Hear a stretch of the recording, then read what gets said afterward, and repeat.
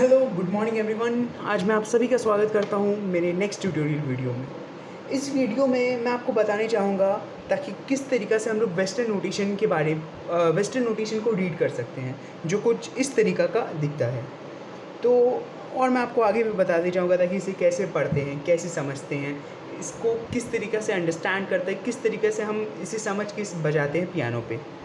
तो सबसे पहले मैं आपको बताना चाहूँगा ताकि आपने जब भी वेस्टर्न नोटेशन का नोटेशंस देखा होगा कहीं, वहाँ पे आपने एक ज़रूर साइन देखा होगा, ये वाला साइन जी देखिए, ये वाला साइन वो आपको दिख रहा हो, मैं जूम कर देता हूँ थोड़ा। चलिए मैं इसके ऊपर एक बार रख के दिखाता हूँ, ये वाला साइन इस साइन को हम लोग कहते हैं ट्रेबल क्लेफ ट्रेबल क्लेफ का मतलब क्या होता है? साइन को हम लोग कहते हैं treble clef C L E F अच्छा आप लोगों ने, बहुत लोगों ने ये भी जाना होगा, पर आपने कहीं नहीं सुना होगा, और ये बात बहुत लोग बताते भी नहीं हैं, ताकि ट्रेवल क्लेफ को हम लोग ट्रेवल क्लेफ के साथ साथ जी क्लेफ भी बोलते हैं। जी क्लेफ इसका मतलब है, ताकि इस लाइन में आपको जो भी नोट्स मिलेंगे, वो आपको अपने राइट हैंड से प्ले करने हैं। नेक्स्ट आते हैं बेस क्लेफ वो हम लोग कुछ इस तरीके से बनाते हैं, देखिए। सेकेंड लाइन से हम लोग ऐसे गोल बना के इसे पूरे नीचे तक लाते हैं और फिर यहाँ पे दो ठो डॉट देते हैं। इसे हम कहते हैं बैस क्लेफ और इसे कहते हैं हम लोग सी क्लेफ ये भी आप लोगों ने बहुत कम जगह पढ़ा होगा। इसे हम लोग सी क्लेफ कहते हैं। इसका मतलब है इस जो मार्क है बैस क्लेफ के बाद इस लाइन में आपको जो भी नोट्स मिलेंगे वो आपको अपने लेफ़्ट हैंड से प्ले करने तो इसके बाद हम लोग जानते हैं ताकि जैसे आप लोगों ने मेरे पिछले वीडियो में देखा था मैंने आपको बताया था, था कि सारे गामा कैसे बजाते हैं। C D E F G A B C कैसे हम लोग बजाते हैं। तो अगर हम लोग को वही राइट हैंड में अब वेस्टर्न नोटेशन में लिखना हो तो कैसे लिखेंगे? तो सबसे पहले हम लोग स्टार्ट करेंगे एंड वाला साइन देके या ट्रेबल क्लेफ का साइन देके। एंड वाला साइन कुछ नहीं होता ट्रेबल क्लेफ ही बोलते हैं इसे। तो ट्रेबल क्लेफ का साइन देखिए, पहले हम लोग यहाँ पे एक लाइन खींचेंगे। उसके बाद हम यहाँ पे एक सी इस तरीक़ा से हम लोग बनाते हैं। ये हो गया हमारा सी उसके बाद हो गया D E F G A B और आखिर में आ गया वापस से सी जो प्ले होगा हम लोग की हाइयर ऑक्टिव पे। अच्छा यहाँ पे हम लोग को जो ने, ये जो लाइन दिया है, इसे हम बार लाइन कहते हैं। हम लोग ये जो C D E F G A B C बजाएँगे, ये हम लोग बजाएँगे आपके मेट्रोनोम पे, जो होगा फोर फोर बीट पे। इसलिए हम लोग को हर फोर नोट्स के बाद एक लाइन देना है। तो इस लाइन को हम लोग कहेंगे बार लाइन तो एक और नई चीज़ सीखते हैं हम लोग। इस लाइन को हम लोग कहते हैं बार लाइन अच्छा जब पूरे ये नोट्स ख़त्म हो जाएँगे तो उसके बाद हम लोग दो लाइन देंगे इस तरीक़ा का। इस दो लाइन का मतलब होता है डबल बार लाइन इसका मतलब है हम लोग का नोट्स अब ख़त्म हो गया।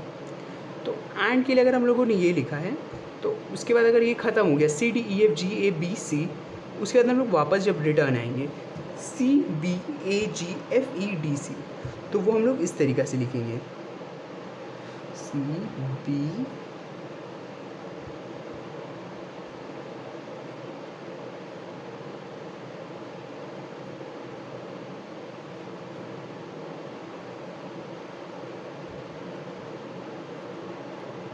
और ये ख़त्म हो गया है तो बस यहाँ पे हम लोग दो लाइन दे देंगे। इसका मतलब होता है था कि ये नोटेशन ख़त्म हो गया ये पीस ख़त्म हो चुका है। सो so, अब सबसे ज़्यादा इंपॉर्टेंट आप लोगों के मन में एक सवाल आया होगा ताकि ये लाइन मैंने जब यहाँ पे जी के बाद ए बनाया तो यहाँ पे ऊपर दिया पर यहाँ पे जो ए है उसमें मैंने नीचे दे दिया। आप लोग इसे कैसे भी दे सकते हो कोई मैटर नहीं करता है। अगर आप लोग को ये लिखना है आप लोग के पास कॉपी है तो प्लीज़ ये लिख लीजिए। आप लोग का बहुत हेल्पफुल रहेगा। आप लोग इसका स्क्रीनशॉट ले लीजिए। चलिए अब आगे बढ़ते हैं हम लोग ट्यूटोरियल की तरफ़। तो सबसे पहले इसे कैसे बजाएँगे? सबसे पहले हम लोग मेट्रोनोम ऑन ऑन करेंगे फोर फोर बीट का, और बजाएँगे।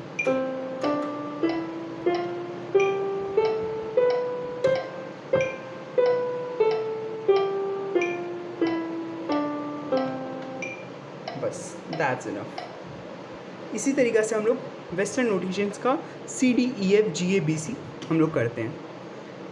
अच्छा अगर हम लोगों ने यहाँ पे लेफ़्ट राइट हैंड में अपना C D E F G A B C किए और लेफ़्ट हैंड में कुछ भी प्ले नहीं किए तो हम लोग यहाँ पे बेस क्लब का साइन देंगे। उसके बाद हम लोग यहाँ सेकेंड लाइन से ऊपर से नीचे ऐसे बना देंगे। इसका मतलब होता है ताकि हम लोग का ऊपर से नीचे जो जाता है इस तरीके के डॉट्स इसका मतलब होता है ताकि हम लोग का फोर बीट्स जो है वो एम रहेगा। उस बीट्स में कुछ नहीं बजेगा। तो इसका मतलब हम लोग का लेफ़्ट हैंड कुछ नहीं होगा और राइट right हैंड में ये सब नोट्स प्ले होंगे। अच्छा अब मैं जो आपको नेक्स्ट बताने वाला हूँ, ताकि आप अगर सी बजाओगे, इसको मैं थोड़ा ऐसे कर देता हूँ। नेक्स्ट मैं आपको बताने वाला हूँ।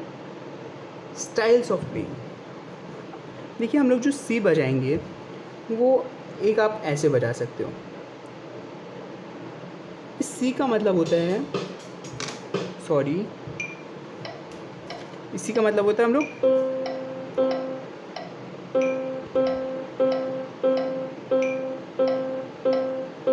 इसका मतलब होता है हम लोग हर एक बीट पे एक नोट बजाएँगे। ठीक है? अच्छा अब अगर आपका सी जो है, वो इस तरीका ना, से ना बना के अगर इस तरीके से बनाया हो तो इसका मतलब होता है, हम लोग हर दो बीट पे एक नोट बजाएँगे। जैसे one two three four one two तो देखा आप लोगों ने, इसका मतलब होता है था कि आपका हर जो दूसरा बीट है, वो आपका रेस्ट करेगा, उस पर आप अपना हैंड प्ले नहीं करोगे। अच्छा अब आप जो अपना नेक्स्ट अगर आपको सपोज़ चार बीट पे आपको खाली एक ही नोट बजाना है तो उस सी को आप इस तरीक़े से कुछ लिखोगे। बस। इसका मतलब होता है ताकि आपका बीट पे बस सिर्फ़ एक सी बजे। फ़र्स्ट बीट पे बजा one two three four